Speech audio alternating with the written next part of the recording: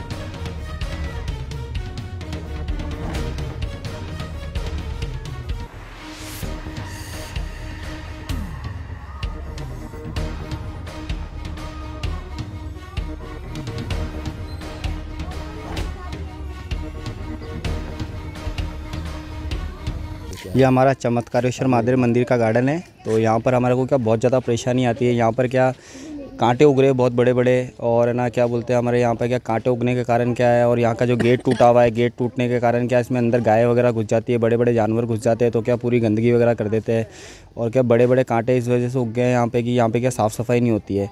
हमने हमारे पार्षद को बोला था साफ़ सफ़ाई के लिए तो उन्होंने दो तीन बार यहाँ पे जेसीबी चलवाई थी और उन्होंने साफ़ भी करवाया था, मगर वापस से क्या हमने नगर निगम को, हमारा पार्षद भी बोलता है और हम भी बोलते हैं। नगर निगम क्या, हम हाउसिंग बोर्ड को है ना? तो यहाँ पर क्या हाउसिंग बोर्ड वाले सुनवाई नहीं करते? तो इस चक्कर में क्या हमारे यहाँ पर पूरा पार्क में गंदगी हो रखी है।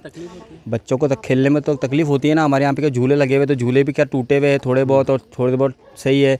अब बच्चे यहाँ पे कांटों में खेलते हैं अब गिर जाते कर जाते तो बच्चों के क्या लग जाती है कर जाती है तो उनकी भी तकलीफ़ होती है इस चक्कर के अंदर अब क्या करें? यहाँ पर पूरा पार्क गंदा पड़ा हुआ है और ये हाउसिंग बोर्ड बीमारी का भी हो सकता है। हाँ इतनी गंदगी हो रही है इतने बड़े बड़े कांटे उग रहे हैं घास फूस उग रही है तो बीमारी भी होती है मच्छर भी होते हैं बहुत सारे।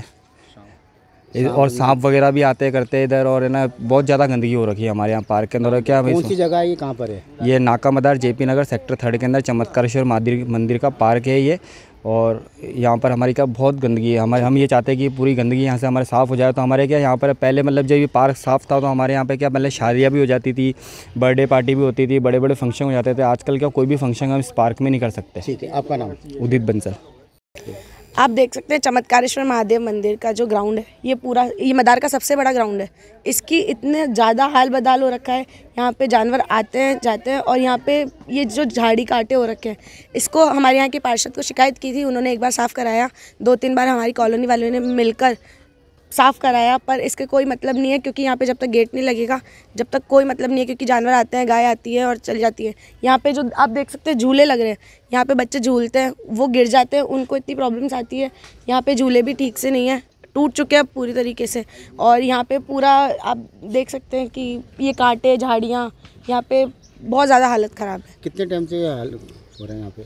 साल भर हो गई साल भर से ऊपर हम पहले करवा भी चुके हैं इसको दो तीन बार करा चुके हैं। ये फ़िलहाल अभी थोड़े टाइम तक ठीक था ये वापस से इसमें झाड़ियाँ हो चुकी हैं। मानते हैं अगर ये सही रहता तो कुछ बिल्कुल अगर ये सही रहता तो इसमें कितने सारे फ़ंक्शंस हो सकते थे? हमारे मंदिर में इतने सारे कार्यक्रम कराते हैं हम इतने से ग्राउंड में कराते हैं हम इतने बड़े ग्राउंड में कराते हैं।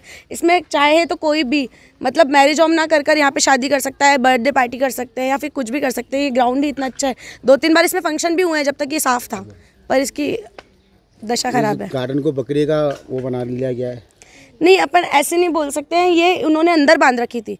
फ़िलहाल इन्होंने ये अभी बार इसलिए क्योंकि यहाँ पे ऐसे पायल जन।